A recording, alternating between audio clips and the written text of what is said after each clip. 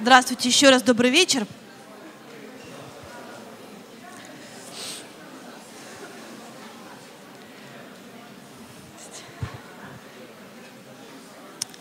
Добрый вечер, здравствуйте еще раз, рассаживайтесь, если можно. Мы продолжаем наш просветительский марафон. А, марафон открытой библиотеки совместно с Эрмитажем, диалога в открытой библиотеке. Это второй диалог.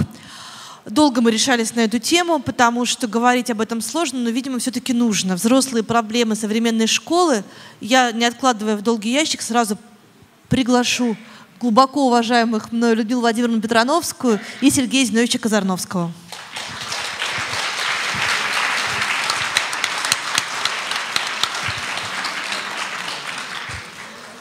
Вот пока вы присаживаетесь, я немножко объясню выбор, таким, наш выбор собеседников. А, мы долго думали, как говорить о том, о чем столько лет, в общем, было как-то принято молчать. Мы не знаем, было это или не было. И о том, и о, том о чем сейчас вроде все начали говорить, но поскольку новости такие шокирующие, то и, а говорить об этом раньше не приходилось, то языка которым говорить о сексуальных, например, домогательствах в школах у нас не существует. И вот, наверное, первый вопрос э, к вам обоим, хотя мне кажется, что, Людмила Владимировна, вы лучше справитесь сейчас с ответом, почему у нас не существует языка о том, языка которым нужно говорить о сексуальных домогательствах в школе, потому что их никогда раньше не было, этих домогательств об этом не стоит в принципе говорить, или об этом мы просто не говорили, а все это было и как-то где-то там тлело, набухало, а потом вырвалось. Ну, тут, мне кажется, языка-то у нас очень про многое чего не существует. Собственно говоря, ну, даже про, что называется, нормальный взрослый секс у нас не очень хорошо с языком. словами, со словами, да, и с называнием каких-то вещей. Вот. А уж тем более про какие-то темы, связанные с насилием, с абьюзом, с... Ну вот я использую заимственное слово «абьюз», потому что нет там каких-то традиционных устоявшихся слов тоже в русском языке, потому что слово «использование» ну, не совсем то же самое значит.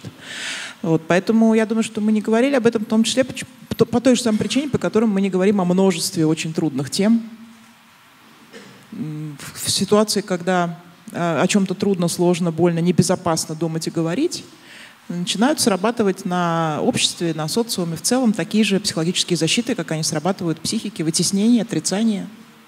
И, собственно говоря, на этом весь разговор прекращается. Сергей Зинович. Знаете, я не был так специально к этому вопросу готов, но сразу вспомнил, в, в конце 80-х годов меня пригласили в Соединенные Штаты делать спектакль с советскими тогда американскими детьми. И в такой lazy day, это как бы выходной, собрались э, американские педагоги, я один, женщины все в кафе. Вот, пили кофе, там пиво, что угодно. И стали говорить о любви. И возник вопрос про любовь. Э, ну вот как вы договариваетесь о, о том, что вот, вот должно произойти? Я вдруг понял, что у меня нет таких слов. Он говорит, ну вот у вас это происходит? Я говорю, происходит. А как вы говорите? Вот говорю, вот прямо вот как, как пригласить куда-то кого-то, говорю, я не знаю. Я говорю, может, у нас такие поэтому романы длинные, что пока договорятся вот всю эту историю. И этого языка просто не было. Это первое. А второе, при этом, при всем, Дети все знают. И я вспомнил, недавно первоклассников смотрел, ну, первоклассников, тех, кто поступает в школу, мы с ними разговаривали, и зашел разговор, как э, правильно э, класть для Деда Мороза какую-то штуку, чтобы он нашел ее и выполнил желание. Мальчик сказал, что надо положить обязательно в холодильник. Ну, вообще логично, и подумал я, но не сразу. А я спросил, откуда ты знаешь? И вдруг он ответил удивительно, откуда я знаю, откуда я знаю? Удивительный же текст. Вот и тут, оказывается, мы же не говорим про это, а все знают. Все равно. Ну, вы провели собрание в своей школе с учителями своей школы, вот вы директор школы, класс-центр, да, вы провели собрание по, не знаю, по итогам или по следам происшествия, допустим, в 57-й школе? Я псих, что ли? Нет. Нет, ну дело все в том, что э, те, кто не работают в школе, всем кажется, что произошло что-то из ряда вон выходящее. Да, потому что такая школа. Да, потому что про это стали говорить. Да мы все хотим, чтобы про это говорили. Возьмите новости, которые сейчас, ну, идет там новостная лента, и тут же пишут, например, Казарновская уехала из Москвы. Что, она родину, что ли, покинула? Она в деревню просто уехала жить. А все ждут, что именно так напишут. Так и про эту историю в школе. Школа – это место любви, это территория любви, где происходит черти что и всю жизнь происходило. Найдите хоть один фильм, где говорилось бы в фильме о том, что в советском учиться надо. Везде кто-то влюбился в этого, кто-то не в этого. Там все это происходило. Вопрос другой. А, готовы ли мы к тому, чтобы об этом а, говорить, и что это действительно происходит в какой-то жуткой форме?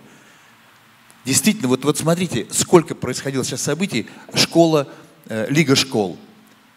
57-я школа. Да, Менделеевича сняли. Конечно, я с ним знаком э, был лично и очень хорошо знаю эту школу. Вот как механизм, как это происходило все. Да, когда-то что-то произошло. Да-то он знал. Ну, не говорят, и слава богу, черт знает, что там случилось. Куда-то они поехали, забыли. Потом наступило время, все это всплыло. Это стало все, все казаться страшным и невероятным. У, Высоц... у Вознесенского есть стихотворение, которое звучит так. «Яблоки сами лазят через забор к ворующим». Не потому, что это точно так, но то, что это происходит так или иначе, в разных формах. Но я могу рассказать про свой опыт. Просто я говорю, отвечая на ваш вопрос, почему не проводят собрания, говорят. Потому что в школе понимают, что э, э, вообще это деликатный вопрос школы. Я думаю, что психологи нам лучше объяснят, почему. Я потом больше Вы расскажу. с Людмилой Владимировной разговариваете, а не со мной. Чего уж тут? Я могу даже спрятаться. Катя, уходите тогда. Мы... Ну, но ничего более деликатного, чем образование нет. Ничего более недетерминированного, чем образование нет. А мы занимаемся конвейерным делом. То есть каждый год мы рассказываем про ЖШИ, про дважды два четыре и так далее. Но на этом конвейере не чушки. На этом конвейере каждый раз абсолютно разные дети. И каждый раз эта проблема возникает. Да, я помню прекрасно, веду репетиции, там 80 какой-то год. Вдруг ко мне подходит э, друг грузин, красивый парень, Геша Берзанишвили. Я говорю, это так. И он говорит, я уйду, пойду домой тихонечко. А вот девушке из 10 класса, которая будет меня спрашивать, скажи, что будет мне очень... А он с ней репетиции вел. Вот она меня изнасилует. И убежал. То есть он был как бы в роли учителя. Понимаете, в чем дело? Конечно, надо говорить, что это табу, что этого не может быть, и вообще об этом думать нельзя, и вообще это невероятно и так далее. Правда, я согласен с этим. Этого быть не может. У такого был Ле- Леонид Лиходеев, замечательный э, писатель, у которого была такая книжка «Я и мой автомобиль». Она начиналась с того, что во двор въехал катафалк, на заднем борту которого белела надпись из автодорожных правил «Соблюдай дистанцию». Это главный ну, какой-то, ну, главный педагогический такой ресурс, правило, соблюдать дистанцию в разных смыслах, в самых разных смыслах, соблюдать дистанцию. Но не происходит этого всегда. Мы говорим тысячу раз об этом, но не всегда происходит. Людмила Владимировна. Но мне кажется, как раз потому и не происходит, что это не проговаривается. Да? Вот э, та проблема, с которой мы постоянно имеем дело, это то, что у нас совершенно нет э, традиции, нет такого принципа да, проговаривать правила, проговаривать правила игры проговаривать протоколы. Прогов... У нас все время, э, все мы крутимся вокруг обсуждения, хороший человек, нехороший человек. Ну, вот любая ситуация, которая не попадает в поле зрения общественного внимания, пусть там эти скандалы с 57-й с Лигой школ, или там вот сейчас э, по, по поводу там семьи Зеленоградской, да, скандал. Все начинают обсуждать. Верю, не верю, было, не было. Хороший человек, нехороший человек. Не- И совершенно нет традиции, нет правила обсудить протоколы. Вообще, почему это считается нормальным большим количеством людей, что, не знаю, девочек, э, приходящих в школу, встречают э, поцелуем на, на входе. Это, это происходило много лет, это происходило на глазах у всех. Все считали, что это нормальная школа территория любви. Э, это разговор о, о- о правилах, это разговор о протоколах. Либо мы начнем говорить о правилах, о том, что какие-то вещи возможны, какие-то вещи невозможны, либо мы начнем дискутировать об этом, обсуждать, почему, почему это возможно, почему это невозможно. Ну, либо так всегда и будет, да, из серии вот человек хороший. А мне- мы это кто? Мы это вот мы все Мы, или мы это ну, Министерство образования? Мы это прежде всего те, кого это интересует. Я думаю, что это прежде всего профессиональное сообщество. Но поскольку в школу ходят наши дети, то мы, в том числе родители, э, в этом смысле, да, мы все. И вот это, мне кажется, такой какой-то э, бич некоторого нашего общественного сознания, да, это отсутствие разговора о правилах, принципах и протоколах, когда все время все... Э, я, я просто вспоминаю историю такую полуанекдотичную. Мы там хотели одну программу делать при подготовке кадров для работы с приемными родителями, и э, в том числе ну, обращались за поддержкой к руководителю там, крупного одного коммерческого банка. И когда мы разговаривали, э, объясняли, почему нужна программа, а, он такой молодой, такой загорелый, такой приехал откуда-то с серфинга. Он сказал, знаете что, я не верю вот в это все обучение, вот это вот все вот образование ваше. Главное, чтобы человек был хороший вот в работе с людьми, главное, чтобы человек был хороший, да, вот, э, ну вот очень хотелось спросить у него, готов ли он, э, если у него, не дай бог, случится аппендицит, например, да, вот по такому принципу выбирать врача, да, неважно, учили ли его делать операцию аппендицита, не учили, соблюдает ли он правила этой операции, протоколы, да, главное, чтобы человек был хороший. Вот, к сожалению, у нас все, все обсуждения вот начинаются вот про это. Ну, если человек хороший, то ему можно, а если человек нехороший, то не надо. А хороший или нехороший разные люди видят по-разному. Э, мне кажется, что очень важно, чтобы да, проводили собрания. Не, проводи, не в том смысле, что э, директор говорит там, чтобы мне не, да, а в том смысле, чтобы люди сели, посмотрели друг другу в глаза и обсудили вообще, что нормально, что ненормально. Как можно дойти до жизни такой? Где у нас сферы риска? Что такое делает школу уязвимой перед перед тем, чтобы абьюз стал становиться нормальным. Потому что, извините, вот вся, вся та история, которая была про 57-ю и про Лигу школ, это не, это не территория любви. К любви это не имеет ни малейшего отношения. Это может быть переживаться там э, юными созданиями, да, как какая-то влюбленность, и потом им плохо от того, что когда они начинают понимать, когда их догоняет сознание, что, может быть, они из, изнутри себя и думали, что это влюбленность, но их реально использовали. Потому что влюбленность, это, знаете, все бывает, да, там э, девочка влюбилась в учителя, роман, э, поженились и так далее, или не поженились, но это роман. Когда она выясняет, что она N плюс первая в списке, это не, про, это не про территорию любви, это про абьюз. И это очень разрушает, да, я, я видела, к сожалению, да, в каком состоянии многие те, кто, с кем это случилось 20-25 лет назад. Я общалась там с теми же выпускниками Лиги школ, видела их там записи, Э, это след, который остается очень надолго. Это э, то, с чем потом людям очень тяжело жить. Это то, что потом требует большой работы. Это не, к этому нельзя относиться легко, и нельзя к этому относиться как просто к ну, какому-то эксцессу. Я к вам с вами согласен абсолютно в том смысле, что в каком-то случае это, конечно, не любовь, а в каком-то случае это вдруг и есть любовь. Как это, в какой момент это узнать? Простой пример. Подождать до выпускного, я думаю. Простой пример. Да, действительно, вот тут, тут правы. В этом, в прошлом году летом учитель истории из моей школы женился на выпускнице школы, которая закончила вместе с, своей, с моей внучкой школу. О том, что у них есть взаимные симпатии, все видели, все говорили. Больше того, кое-что было известно такое, ну, как такое, слухи, там что-то такое, да, что хотелось бы ему какие-то более резкие вещи сказать. И тут школа и школа – это жизнь. Мы обсуждали это, все говорили. И вдруг оказывается, так было страшно. Вдруг, что эта девочка, а тут абсолютно искрен, кстати, тоже, вдруг поймет что-то не так, не дай то Бог. Это же живая история, это же не вообще что-то где-то. Это же так просто когда вы говорите о том, что нет никаких правил, это неправда.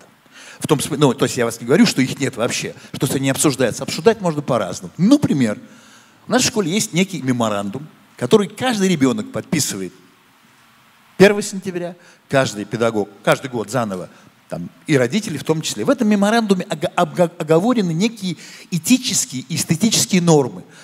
Понимаете? Их тоже нельзя ведь э, э, как это правильно сказать? Это же нельзя сказать, вот это так и так, и так, так. Тоже не пропишешь, да, понимаете? А ну, вообще-то говоря, технология образования, она очень тонкая вещь. И если, вот, вот очень важная вещь. Если технология образования станет такой, которой она стала сейчас, абсолютно э, технократической, в которой ушло все, что живое, связанное с эмоциональным, развитием эмоциональной сферы человека, говорить просто не о чем. Послушайте, мы же сейчас с вами говорим так или иначе о чувствах, о точности их вы сами говорите, чувствует или не чувствует, и только тогда можно понять, насколько это так произошло или не так? В Древней Греции каждый мальчик должен уметь играть на кефаре. Зачем нам про это знать? Оказывается, важная штука. Он в будущем должен был держать оружие в руках. Оружие – вещь капризная, изначально данное, чтобы защищать землю, семью или какие-то идеи. Оно может очень быстро обратиться в оружие, из оружия воина в оружие бандита уничтожать. Как это можно было? Их начали каким-то образом воспитывать, даже что-то говорить. И я вам могу сказать, что это очень важный пример, когда в школе существует некая атмосфера такого воспитания. Тогда проще про что-то говорить. Понимаете? Когда мы говорим о том, что давайте вот скажем, так, так нельзя. Один только вопрос простой вам. Скажите, когда я глажу ребенка по голове, это акт физического контакта? Физического. Чем это отличается от подзатыльника, который произошел в этот момент? Практически ничем. Можно ли дать в школе подзатыльник? Можно. Если я в этом смысле не унижаю человека. Это может восприниматься абсолютно как тоже. Когда говорят, я читал, прочитал все эти тексты про то, что как это можно целоваться, 36 лет целую детей. Я все. Ну, смотрите, вы, да, вы, опять, вы опять предлагаете э, положиться на, на критерий хорошего человека. Хороший человек, пусть гладит Я не хороший, я просто их целую, я потому что люблю. Но, но, при этом у меня очень жесткие отношения, требовательности к всему, там, что происходит. Это правда. Это, не, это ничего не меняет. Смотрите, то, что... я, я, я родитель, я отдаю своего ребенка в школу. Я не знаю, какой человек там будет. Абсолютно. Хороший или нехороший. Вот можно, я буду уверена, что моему ребенку там не будут ни из каких соображений давать подзатыльник, и ни из каких соображений не будут э, его целовать в губы. Можно, вот я буду в этом уверена, как родитель. Я про губы не говорил. Ну, в данном случае... Но в Лиге школ, по-моему, их тоже в щеку целовали. Не то, чтобы ну, я сравнивала, но я так хорошо, просто... в губы, не в губы, куда бы то ни было, Нет, да? подождите, а это, ва... Стоп, а это важно? Нет, это, это, это интимный все равно контакт. Да? Это контакт, который существует между близкими очень, между родственными людьми. Я не, не знаю каких-то людей, которым, так, ну, я не знаю этих людей, которые просто занимают эту должность. Почему на основании того, что он занимает эту должность, он имеет возможность мацать ребенка? Я не понимаю. Это, это, это не, э, понимаете, есть одна крайность, да, есть там э, э, та крайность, к которой сейчас пришли там многие там европейские школы, английские школы, когда к ребенку невозможно прикоснуться, даже если он плачет, там невозможно его там обнять и погладить по голове. Да, это э, одна, одна крайность. Но э, когда мы вообще как-то границы рас, раскрываем и полагаемся на то, что человек это делает из любви, из хорошего отношения к ним.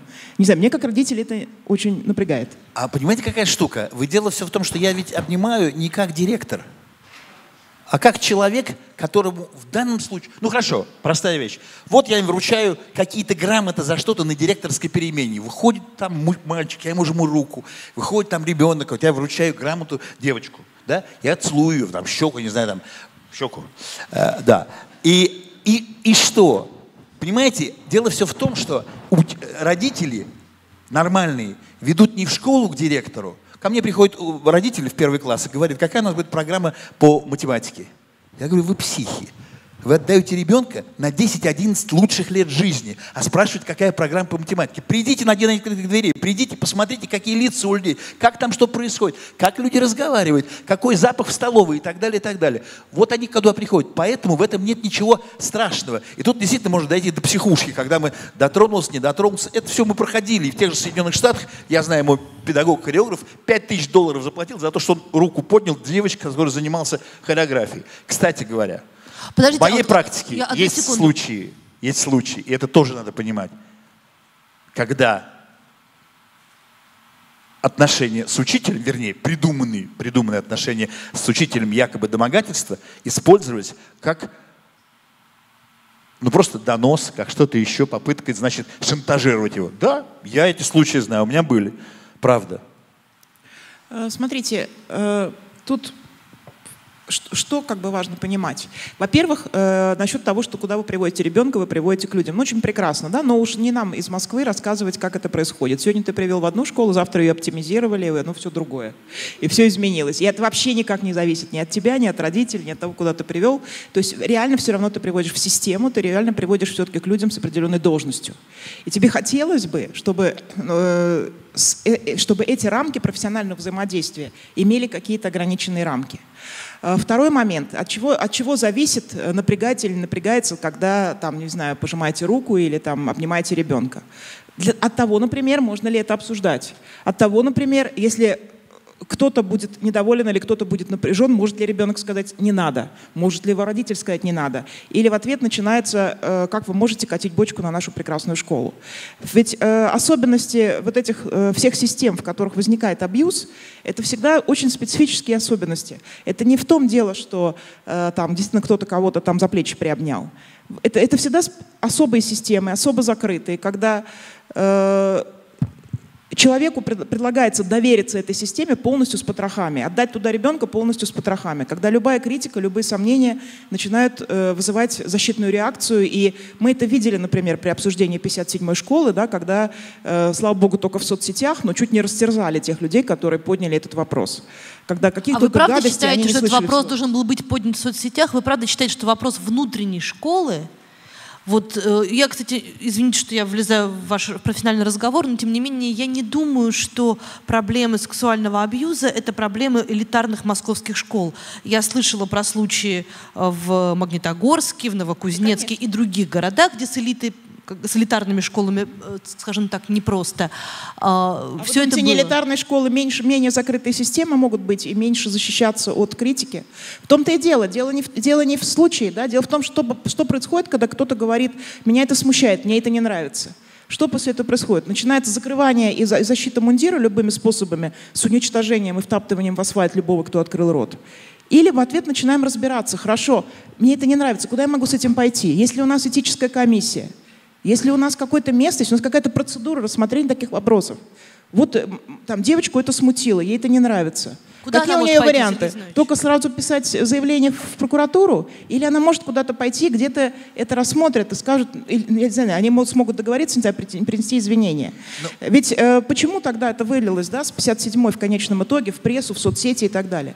Потому что обсуждение внутри школы ни к чему не привело не привело ни к чему. Если бы это было обсуждено на самых ранних этапах, и тогда бы сделали выводы, я вас уверяю, все бы это затихло и нормализовалась эта ситуация. Это э, когда нет рамок, когда нет процедуры, как нам разобрать конфликтную ситуацию, то э, очень легко дать, э, очень легко распуститься, очень легко позволить себе под разными красивыми словами все, что, все, что хочется. Или есть рамки, и эти рамки э, держат на самом деле даже, даже, даже в тех случаях, когда есть какие-то импульсы. Импульсы-то, конечно, есть. Ну, старшеклассницы прекрасны, старшеклассники чудесные, молодые, умные, красивые учителя вообще чудесные. Безусловно, импульсы между ними про, как бы проскакивают, и в этом нет сам, самом по себе никакого криминала. Весь вопрос в том, если у нас рамки, э, ну это, я не знаю, аналогия с э, водителями на дорогах, да, то, что людям хочется не тормозить лишний раз, а проскочить побыстрее вперед, это абсолютно понятно, нормальное человеческое, да, и желание скорее попасть домой. Есть ли в этом какой-то криминал? Нет.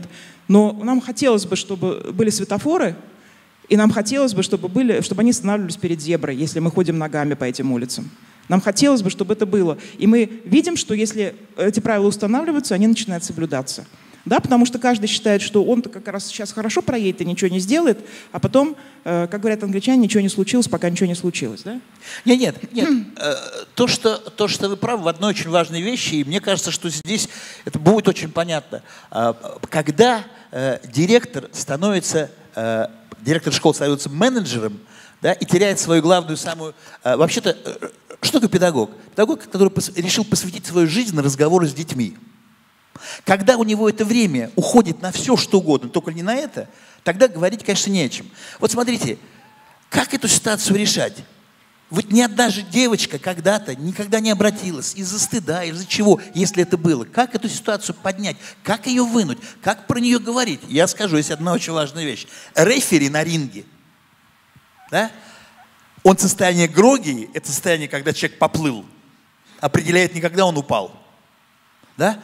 Он открывает счет нокдауна, когда видит по глазам. Это вот то, что директор должен увидеть, что-то такое. То, я не хочу говорить про 57-ю школу, то, что вот нюхом, вот что-то не то происходит. Он может это почувствовать, да? Это должно происходить. Для этого он должен по-другому жить. Без... Когда приходят, говорят, вот была такая замечательная школа у вас. Как вы думаете, мне хорошо? Я говорю, в этой школы теперь часть комплекса из 20 школ. Я про нее ничего не могу вам сказать. Это правда. Этот человек должен быть в школе. Человек с невероятным авторитетом. Я вам скажу, практически ни одну проблему с точки зрения просто закона, это так нельзя прописать, чтобы можно было решить ее так или иначе, не, не, не доверив, что вот ну, какой-то человек авторитетный, ну, в частности, директор, да, может, может понять, как ее решать. Нет, не я, всегда я, понятно. Я не готова это давать на отпуск какому человеку. Смотрите, как устроено, например, в других помогающих профессиях, да?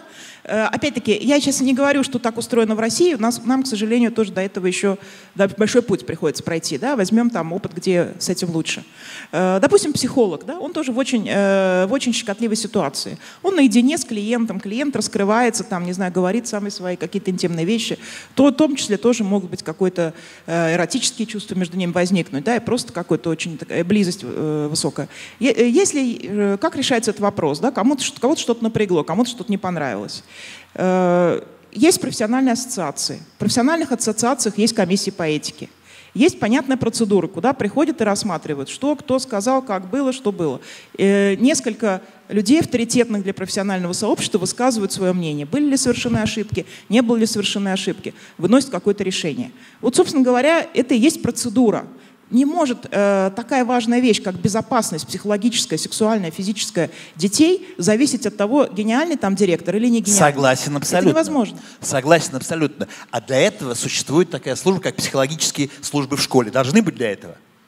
Нет, психологическая служба в школе тут ни при чем. Психологическая Нет. служба в школе это Нет. служба, подчиненная директору. Она не является э, профессионально независимыми экспертами. Э, то- это, это не, это не должен быть. Это, ну, кто такой школьный психолог? Это, это, ну, тот же самый, кто. Знаете, чем отличается школьный психолог от учителя? Он уроки не ведет. Уборщица тоже не ведет уроки. Уроки не ведет. И к нему приходят дети и с ним разговаривают. В отличие от обычного. Эти службы все сократили, потому что при подушевом финансировании их практически нет. Да? Их просто сократили. Это люди, которые смотрят градус. Как приходит учитель в школу э, работать? Да? В первую очередь он разговаривает с психологом, потому что это наш, ну, то есть, грубо говоря, нашей крови или не нашей крови в ту или другую школу. Я с вами, конечно, абсолютно согласен, э, что правила какие-то как-то должны быть э, прописаны. Мы для себя, вот лично я понимаю, что мы их делаем в некоторых наших меморандумах, что, что-то проговариваем. Но есть, конечно, очень важные вещи, про которые, конечно же, идет разговор. Но представляете, разговор с оттяжкой через 25 лет очень сложный. И никогда не поймешь, как тут и что просто. Я сейчас к чему говорю? Я абсолютно не возражаю, не то, что не возражаю, поддерживаю в том, что говорите, что это очень, очень какой такой-то, ну, очень тревожный момент, который возникает. Но я совершенно точно сегодня понимаю, что у нас, к сожалению, к сожалению, вот механизма такого, про который вы так говорите точно, его просто не существует. Просто не существует. По многим-многим причинам. Я прочитал все, что происходит сейчас, все, что говорят психологи. Почему по-разному люди говорят? Потому что что? Каждый из этих людей плохой педагог был? Отличный педагог был. Он отлично все и привел, потрясающий. Могли ли представить? Да не могли. Просто не могли. А что значит не могли? Подождите, я разговаривала с учителями. Мне не очень, честно вам скажу, не очень бы хотелось разбирать конкретные кейсы там, Лиги школ или 57-й школы. Мне хотелось бы все-таки поговорить, что называется, в общем, но тем не менее. А, Я говорила с преподавателями, которые работали в 57-й школе, которые знали как бы, педагогов, которые сейчас обвиняются в сексуальных домогательствах. И я спра- спрашивала, скажи, а вот ты слышал эти разговоры? Да. Говорю, «А как, как же ты можешь там преподавать? Как же ты мог отвести туда своего ребенка учиться, если ты про это слышал? Ну, я слышал, но Бог его знает, что говорят. Точка. Опять-таки, потому что совершенно непонятно, что делать. Вот, допустим, ты слышал, допустим, ты встревожен. Скажи, э, э, Справку приноси- приносить. Вот как же нас сейчас ведь все учителя, прежде чем прийти в школу, приносят из психдиспансера справку, правильно? Не, ну так ведь? Ну, может быть, такую, что вот он кастрирован уже, и как-то приносить, чтобы в этот вопрос... Я, понимаете, я я, не, я не валяю дурака. Я просто хочу сказать, эти все люди замечательные педагоги. Сколько мы есть замечательных людей, художников с другой ориентацией. При нашей сегодняшней ситуации можно вообще их так расстрелять всех. Ориентация тут вообще немножко... А при не чём здесь понятна. ориентация? Не, не, не, не, я, я, я Педофилия к ориентации я- не имеет я- никакого не, не, не, не, отношения. Просто я, я привожу некий пример замечательных художников, которых мо- можно травить по этому поводу. Это действительно всегда очень трудно увидеть. Тех, кто не интересен в школе, сер, там, и так далее, с ними ничего не происходит. В этом смысле тоже. Понимаете? А действительно, ну, притягательные люди, ну, действительно интересно, черт знает что. Вопрос другой, вопрос другой, что должно это караться жест, жесточайше, и, конечно, они должны потерять, покидать эту территорию. Провокационная территория, провокационная, скажу вам точно. Обсуждать можно бесконечно. Я только, я ведь не против того, чтобы говорить, я просто говорю о том, как практик, что она сложная ситуация. Ее просто вот так вот так не решишь. Так кто будет обсуждать-то? Если учителя не хотят про это говорить, хотят, а только, а только говорить, хотят. Э, говорят, э, только закрываются, кто, кто вместо них это сделает? Да, государство может делать, но государство, вы знаете, как делать. Государство всегда делает вот так вот, справку принесите. То есть это ни о чем. Да? Это грубо, просто, проверяемо и ни о чем. Э, единственный способ для того, чтобы это был достоверно, для того, чтобы можно было с этим работать, для того, чтобы можно было отличить харизматичного учителя, который любит детей, от харизматичного учителя, который юзает детей, это профессиональное сообщество. Потому что, да, э, Катя говорит, есть люди, которые давно знали и, и, и, и, и как бы вытесняли. Потому что, а что им делать? Непонятно, куда идти? Сразу в прокуратуру, уничтожать свою любимую школу? У нас э, два, э, две, в, в этом смысле у нас есть две опции. Первое – посплетничать на кухне, второе – уничтожить школу. Слушайте, ну это из серии, да, вот если у нас весь уголовный кодекс будет из серии погрозить пальцем или расстрелять. Будете вы заявлять о преступлениях или о чем-то еще, если вы знаете, что либо человек погрозят пальцем, либо расстреляют. Вот никаких других опций не предусмотрено.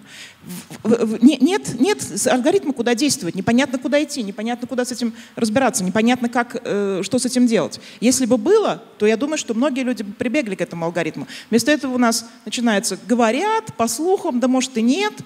А если вопрос открывается, то сразу приходит Следственный комитет и начинает все утюжить. Ну вот. Ну, до сих пор тот же Следственный комитет, насколько я знаю, никаких решений по этому поводу даже с 57-й школы не принял и так далее, и так далее. И просто не хочется про 57-ю школу говорить, потому что по сию пору в нее стоят очереди, они сделали замечательную историю, как, в принципе, и Лига школ с точки зрения образования и так далее. Но сейчас, понимаете, что получилось?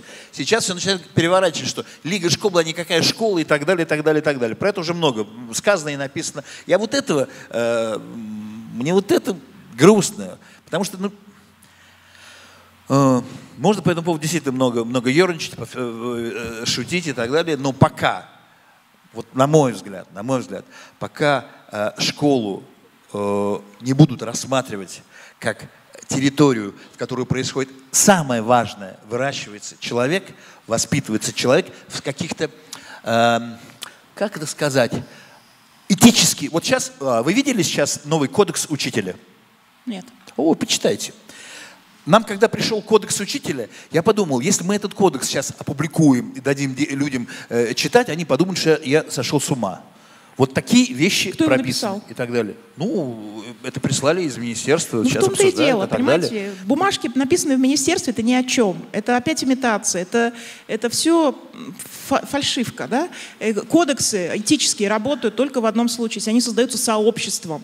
Если они создаются сообществом, если они выстраданы сообществом, если они обсуждены сообществом, на миллионе кейсов, э, убившись, наступив на грабли, поступив, получив ими пол. Очень важную вещь я хочу внеся какие-то коррективы. Сказать, в, виде, слушая все кодекс. разговоры о сектах, о закрытых школах и так далее, и так далее. Вот одна важная вещь технологическая, которая должна быть. Должно быть э, точно сказано, что школа – это место, где встречаются три стороны учебного процесса. Дети, педагоги и родители. И вот эта штука должна быть неформальной, как у нас были эти сделаны советы, как они правильно называются – Попечительские? Не-не-не, не попечительские, слово выскочило. Родительские говорят? Не, не родительские, сейчас управляющие советы. Вот записано, должны быть управляющие советы. Ну, посмотрите, там написано, ученики должны туда входить, три человека. Тут, это, это, это. Управляющий совет – это территория. Я вам расскажу сейчас какую-то, вам скажете, ерунду. Ну, так решается жизнь, я вам скажу. Я каждый год хожу во время огоньков, э где-то в конце декабря, когда все это проходит, и там какие-то подарки в каждом классе дарю и так далее. Обычные родители. И вот тут я как-то э, понял, что мне, ну, я стихи им какие-то читаю, детям всегда дарю кусок своего счастья детского, мандарины. Ну, это мое, я делюсь им, что это было когда-то. А, значит, э, сетками такими, авоськами. А, и не знал, значит, э, что... И тут я вспомнил, что я лежал в больнице, на, у меня была диета номер пять, и своему другу большому написал э, письмо эссе о, хаш. Какой-то замечательный напиток, ну, еда какая потрясающая, когда как это вкусно, как пора утра, какая-то хаш и так далее. Ну, то, что вот. И тогда я взял это эссе, прочитал родителям в каждом классе. Ну зачем? Я в конце сказал два слова. Завтра в ресторане «Наш двор» около метро 905 года я вас жду в 10 утра. В 10 утра я пришел к ресторану 905 года. Хашный. Ну, армянский ресторан. Стоит один мужик. И говорит, я знал, что вы шутили, но приехал. Через пять минут подошло еще двое. Сказал, я знал, что вы это, это ерунда, но я приехал. Через 20 минут нас сидело 15 человек, с семьями приехали и так далее. И в этот момент мы проговорили, пока ели этот хаш, там что-то выпивали, про столько всего, про чего мы никогда не могли говориться, в том числе и про многие вещи, которые кому-то казались. Когда мне кажется, что ребенок себя ведет неадекватно, как-то, я приглашаю его родителей, звоню, говорю, знаете, я ничего не видел. Я не знаю, употреблял он не употреблял, я не знаю этого ничего. Но я волнуюсь. И хочу вам свое волнение передать. Поволнуйтесь тоже. Я ничего не знаю. Вот только не уверяйте меня, что он никогда этого не делал. Я уверен, я этого не видел. Поволнуйтесь. Если бы мы в этом сообществе вот эту территорию жестко сделали такой, понимаете, когда я сделал холл, в родитель, родительский холл в школе, половина родителей до сих пор стоит на улице перед входом в школу, их не пускают. Так? Так. Да? Холл, они перемалывают нам там кости, пьют кофе, тоже нельзя кофейный автомат держать и так далее. Им показывают там какие-то фильмы про то, что, как уроки проходят и так далее. Вот когда мы начнем разговаривать на территории все вместе, может быть, тогда и возникнет ситуация, когда можно будет это все... Вот сообщество, которое может решать эти проблемы в большей степени, а не то, когда нам присылают эту директиву, правда, про кодекс учителя. Почитайте, это грустная история. Но хочу сказать, родители, будьте бдительны.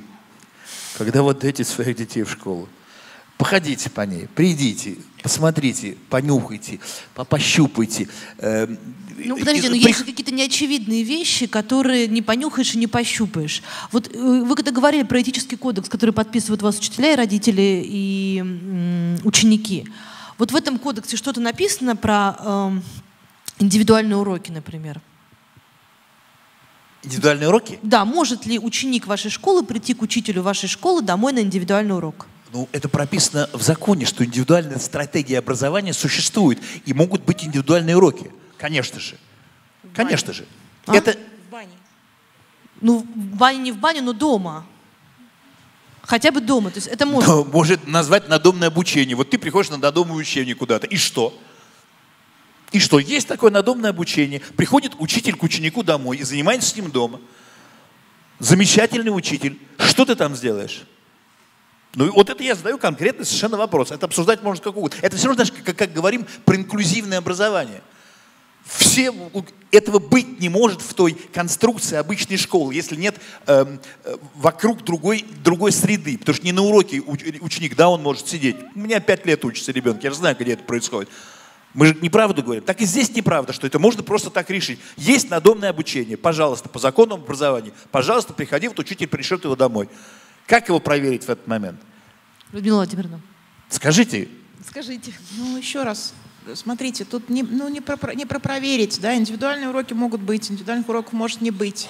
Это, э, это, это не, мы можем очень много говорить вообще о проблемах школы, о том, это огромная тема, да, но все-таки вроде как сегодня мы говори, ну, договорились говорить о э, конкретной теме, да, это о том, э, защищает, как, как мы можем придумать какие-то механизмы, способы защиты детей от абьюза. Это же не только сексуальный абьюз. Это же очень, очень много насилия в школе, очень много унижения в школе, очень много эмоционального насилия. И нет никакого способа об этом говорить. То есть единственное, что ты можешь, это если у тебя как родители что-то не устраивает, и ты что-то заметил, это жаловаться. При этом э, жаловаться тоже 10 раз подумаешь, потому что у нас же еще до сих пор, э, ну, продолжая там предыдущую тему, да, у нас до сих пор осталась совершенно сверхценность образования в представлении людей, да, как социального лифта. Это еще остатки вот того периода э, когда от, аграрного, от аграрной страны мы переходили э, очень быстро, в очень короткие сроки, и действительно образование было единственным шансом для множества людей, которые жили в кошмарных условиях, без паспортов и так далее, вы, выбраться в, ну, в люди и жить человеческой жизнью. Это сверхценность образования, сверхценность хорошей школы. Э, под хорошей школой имеется в виду именно, вот, ну, как сказать, престижная школа, дающая хорошие результаты экзаменов. Э, она до сих пор у наших людей прям зашито да, в подкорке. И ради того, чтобы мой ребенок учился в хорошей школе, я могу закрыть на что-то глаза, я могу на что-то не обращать внимания, э, я могу на что-то себе позволить. В некоторых хороших школах дети невротики просто через одного, потому что их давят и прессуют со страшной силой. Это не, не сексуальный абьюз, это какой-то другой абьюз. И непонятно, куда, что с этим делать. Извините, а что вы вкладываете в понятие «хорошая школа»? Просто если у вас ребенок невротик в хорошей школе, то что такое хорошая школа? Считающийся хороший, да? Я в данном случае не то, что я вкладываю, я-то вкладываю да. другое совсем, да, но то, что считается хорошей, те школы, которые там высокие позиции занимают в рейтинге и так далее. Э, нет какого-то механизма. При этом в школе есть очень много, например, того, того, же, того же буллинга, да? Куда вот, например, пойти что, куда с, что с этим делать, если ребенок э, подвергается буллингу? Со стороны ли педагога, со стороны ли сверстников? Э, Поясните, нас... пожалуйста, тут ползала не знает всех Буллинг тех слов, это которые травля. вы Это когда кого-то травят, да? когда кого-то дразнят, травят, изолируют, э, обзывают и так далее. Это эмоциональное насилие, групповое или со стороны педагога огромное количество э, очень грубого обращения. И, понимаете, мне кажется, что, во что в конечном итоге мы упираемся? У нас школа не воспринимается как территория, где дети должны быть в безопасности. Вот это вообще нет у нас в голове такого, что прежде всего школа должна не вести к вершинам и не быть там, не знаю, не давать блестящее образование, а школа, действительно, в которой, я согласна, дети проводят огромную часть своей жизни, это главное содержание их жизни там, с 7 до 18-18 лет. Прежде всего школа должна быть территорией ну, какой-то минимальной безопасности. Да, со своими там драмами, страстями и так далее, но э, там не, не должно быть издевательства, насилия. И если мы эту задачу не ставим, как вот основную, основополагающую, то никакие решения к нам не приходят в голову. Это не, эта задача не может быть решена бумажкой, написанной в министерстве. Эта вот. задача должна быть поставлена педагогическим сообществом и родительским сообществом. Вот смотри, какая штука. Это не я придумал. Одна замечательная учительница, которая у меня работала, она сказала такой текст. Я уже не раз все говорил, мне очень нравится. До семи лет мы учим ребенка ходить и говорить, а потом его приводят в школу, и мы учим его сидеть и молчать. Да. И это правда.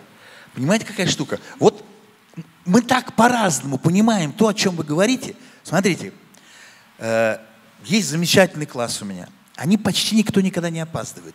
Они никогда не пропускают вместе с родителями, вероятно, уроки. Они еще маленькие, да? Я захожу, прихожу к ним в класс. Ну, во-первых, я никогда сижу на уроке, я не, не сажусь никогда сзади. Вообще, Вообще это ситуация, когда мы, не, мы от этого не можем уйти. Что такое? Что такое вот эта вот классная урочная история, когда мы, мы сидим спиной друг за другом? Что хочется сделать, когда ты сидишь за спиной кого-то? Спрятаться. Достать что-то и что-то сделать здесь. Или потом я помню себя, как я увидел, что на спине появился лифчик. Ну, в смысле, его контуры. Учиться было уже невозможно. Потому что там что-то невероятное должно было происходить, и это вообще не до этого. Да? Дальше мы даже не задумываемся о том, что когда я встаю, отвечаю, за мной сидит человек. Что вообще-то говоря, мне должно быть просто физически неловко. Равно как я встаю, отвечаю, а передо мной человеку до фонаря, он даже не посмотрит на меня. Мы не можем эту проблему решить, чтобы рассадить и так далее, и так далее. Самые консервативные люди – это учителя во всем мире. Но я сейчас хотел сказать не об этом. Это я просто потому, как я смотрел в классы. Да? Есть первый звонок, есть второй. Я зашел с первым звонком, говорю, здрасте, я вот здесь сяду, рядом впереди буду смотреть. Да? И сел. Я говорю, вы садитесь. Они не садятся. А мне учительница замечательно говорит, ну, они со вторым звонком они и сядут. Я же буду стоять? Она говорит, ну, второй звонок. Ну, я тоже встал, естественно. Это я к тому, что некоторые родители скажут, вот это наддисциплина, которая нам нужна – а другие скажут, это просто издевательство. И где эта середина? Я помню прекрасно, моя учительница русского языка заходила в класс, у нее была такая книга, она поднимала ее и отпускала. И мы как такие бобики сидели. Она говорила одну фразу, кто меня еще не видит, кто меня еще не слышит. На всю жизнь я помню парные согласные. БП, ВФ, ГКДТЖШ и непарные РЛМН и ХЦСШ. И ката-либо так и нибудь кое, который пишется с черточкой. На всю жизнь. Она была строгой, но никогда нас не унижала. Это, это такая, вот это, где эта грань? Как ее просто измерить или записать в уставе караульной службы какой-то? Это очень трудная штука, понимаете? От, Да. Все такие, терм... все такие понятия и грани вырабатываются обсуждением кейсов. Никакого другого способа никто не придумал. Да? Никакой устав, написанный где-то в министерстве, как бы вы ну, как бы говорите, что устав, устав из министерства спущен, это не опишет. Я с этим вообще не спорю. Но вторая крайность, сказать, это все очень тонко, поэтому мы вообще никак не будем это выяснять Согласен. и описывать. Это тоже невозможно. Как вырабатываются такие грани в человеческих сообществах? Только одним способом. Мы говорим об этом, мы обсуждаем, мы выдвигаем критерии, мы пытаемся убедить друг друга, мы разбираем кейсы, мы вносим корректировки, раз за разом, раз за разом постепенно формируется, э, э, формируется культура, формируется представление о том, что можно и нельзя. И да, когда уже культура сформирована, то многое не нужно запрещать сверху, потому что оно как бы изнутри людям не, ну, немыслимо так сделать. Я Родители, вами, которые считают, что вами... нормально, когда ребенок приходит из школы, заикаясь от ужаса, это же тоже вопрос культуры, да? вопрос того, чтобы это не было бы принято, это не было бы нормальным и естественным. Это же э, в сумме всего. Родители, которые не считают, что если в этой школе дают э, прекрасное образование, то можно, чтобы там девочек тискали. Это же тоже вопрос культуры. Мы тискали Кстати, девочек. очень, очень хорошо в одном из видеообращений выпускница Лиги школ сказала, что да, со мной этого не было у меня к этой школе нет ни одной претензии, потому что все, что я от нее получил, это прекрасное образование, которое позволило мне состояться в жизни и так далее. Но готовы ли мы подумать о том и согласиться на то, чтобы прекрасное образование от них было оплачено э, психологическим разрушением других? И эта девочка говорит, я не готова. Я не готова сказать, что хорошо, раз эта школа мне лично ничего плохого не сделала, я получила оттуда много прекрасного, ничего страшного, что какая-то моя однокурсница 30 э, лет по психотерапевтам ходит, восстановиться никак не может. А, Весь вопрос в том, готовы Сколько ли в этой школе человек, чтобы люди представляли, было в Лиге школ? Ну, я не знаю, там несколько десятков общей сложности. Она 60 была. человек? Она небольшая была, да. 60 человек. Мы об этом говорим уже почти целый час. При 60 людях в школе да? Ну, конечно, можно было давно уже расстрелять, извините, директора, который не мог этого не знать, должен был просто принять нормальные решения по этому поводу. Просто это ну, ситуация, как бы сказать, это нам, вот, вот я хочу сказать, аномальная совершенно ситуация, 60 человек в школе. Ну, что такое 60 человек, чтобы не понять, что происходит? Это ерунда, конечно. Просто тоже все, вот понимаете, столько лет прошло, вдруг кто-то решил вспомнить. Я, я почитал, и Николопова почитал разных психологов, которые по, по этому поводу говорят. Он говорит, а может у него в жизни потом ничего не сложилось? И она думает, когда же это у нее случилось, что вот сейчас у нее что-то не вышло. Наверное, тогда, когда ей показалось, что он ее, может быть, тискал. Наверное. Он, может быть, и хотел этого. У него, может быть, на лице было написано, вот а может, прям, она еще больше хотела. Вот это прям вторая болезненная для меня тема, потому что, когда я читала высказывания некоторых коллег, мне хотелось просто провалиться сквозь землю, да, потому что вот это как раз тот случай, когда тоже, когда должна быть психологическая, извините, ассоциация, комиссия по этике, и должна спрашивать, какого черта ты, будучи психологом, несешь вот такой, то, что называется victim blading, да, то есть я, я... обсуждение, а, а, осуждение жертвы, да, и э, перевод стрелок на человека, который рассказывает в публичном пространстве о пережитом насилии. Даже если он ошибается или что-то не так говорит, или преувеличивает, или что-то еще. Я этот ты пример только привел. Ты не можешь просто... Тут что важно, да, вот это прям очень э, важно, чтобы мы понимали, да, это общее, это составляющая часть общего всего. Когда начинают вместо этого обсуждать, а может у них жизнь не удалась, а может они все придумывают, а может они что-то мстят, а может они что-то. Вот э, основа той безопасности, о которой мы говорим, например, это запрет, просто запрет внутренний, да, общий, и само собой разумеющийся, как нельзя сморкаться в подол, так же нельзя в ситуации, когда человек говорит о том, что он был жертвой насилия, э, первым делом начинать обвинять и обсуждать его. Да, может быть, э, его показания недостоверны, может быть, он преувеличивает, может быть, что-то еще. Это уже второй вопрос. Но в ответ на сообщение о том, что я был жертвой абьюза, единственное, что может быть, это только понимание сочувствия и выражение готовности с этим разобраться.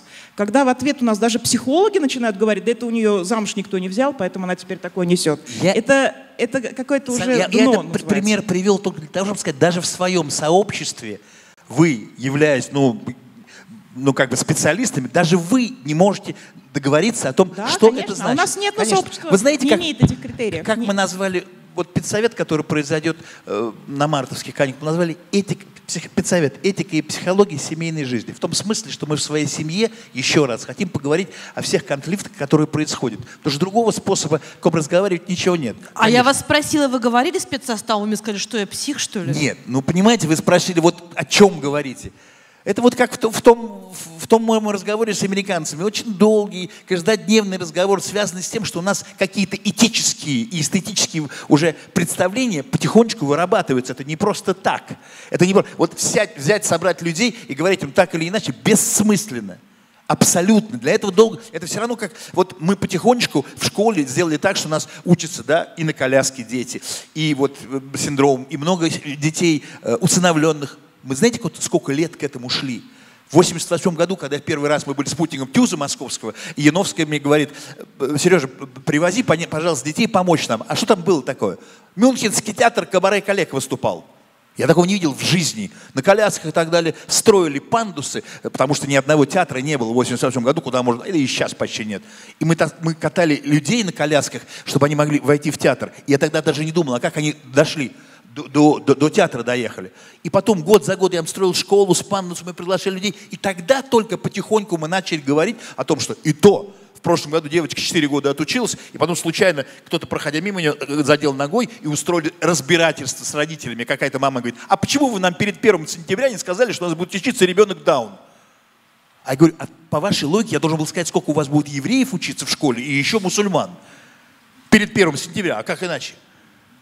Это такой долгий-долгий-долгий процесс. Мы, ну, слава Богу, что мы начали об этом сейчас говорить. Отлично. Я только за. Но это разговор. Никто ничего другого, как, как разговаривать, не, не понял. Ну, аккуратней. Это деликатная сфера. Вот и все.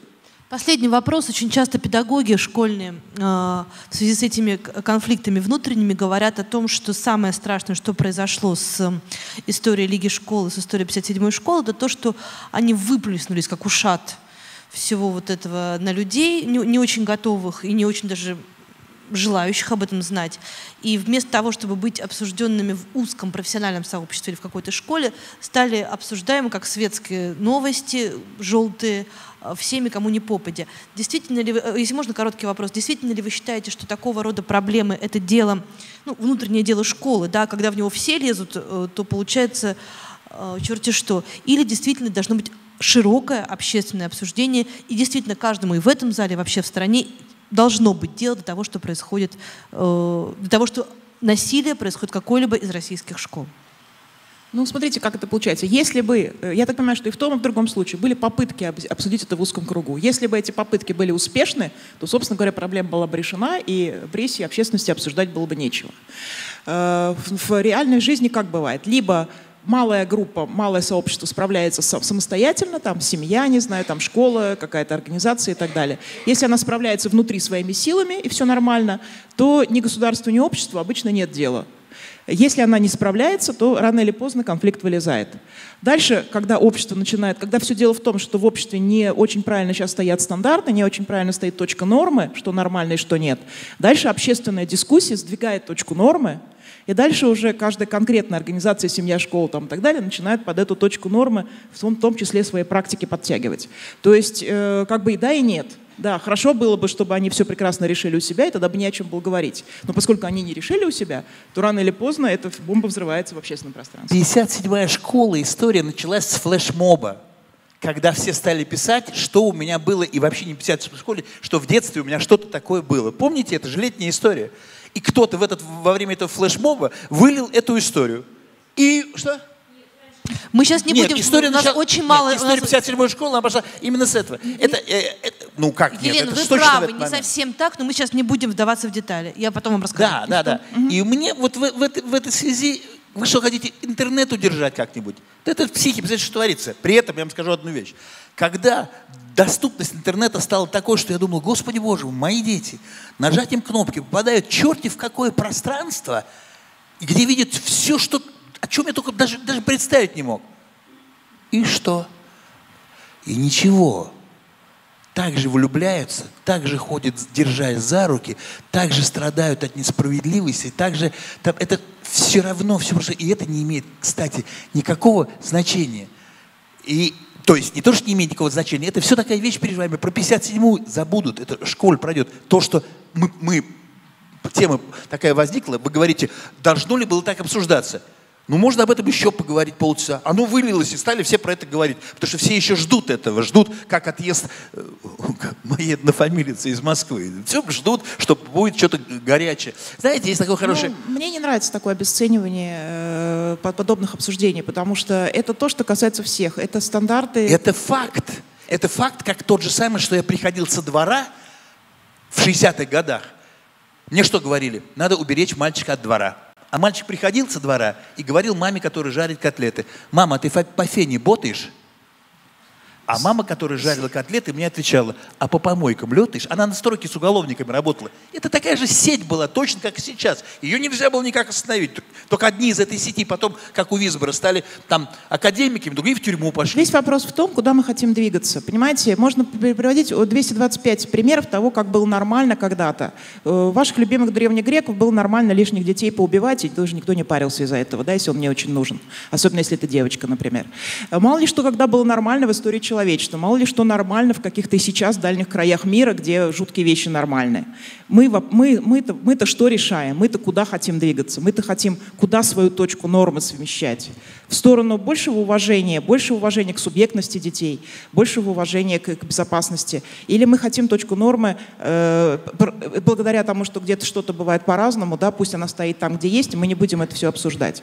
Мне, мне, меня смущает такое обесценивающее отношение к этому. Я считаю, что очень огромная роль была этого флешмоба и этих обсуждений, потому что э, есть вещи, которые должны рано или поздно стать явными и быть произнесены вслух. Да? Но вот, а я с, вот это, это, я с этим не спорю ни секунды. Древний, в конце концов, архетипичный сюжет да, про прорастающее через тростник, и когда из этого тростника делают дудку, то она поет. Я да, этим... иногда травмы требуют 20-30 лет, чтобы пережить. Дорогие мои Сергей, я сейчас одну скажу, одно, два, два, два, два, два слова. Я с этим не спорю ни секунды. Я просто говорю, что это нельзя остановить. Знаете, вот есть, простите, вспомнил на финал, очень хороший анекдот, очень, правда, поверьте мне. Когда жители Земли как-то увидели, что на звездном небе звезды стали таким образом, что можно снизу было прочитать, кто вы. Ну, зрители засуетили, жители засуетились, стали по мобилам звонить друг другу на континент и договорились сделать огромный флешмоб из костров, где было сверху прочитать можно было. Мы люди. Когда они это сделали, они подняли глаза все к небу, звезды засуетились, засуетились, остановились, и все прочитали. Мы не вам. Спасибо вам большое. Буквально через две минуты Эрмитаж Александринка, Фокин Петровский. Захватывающий диалог.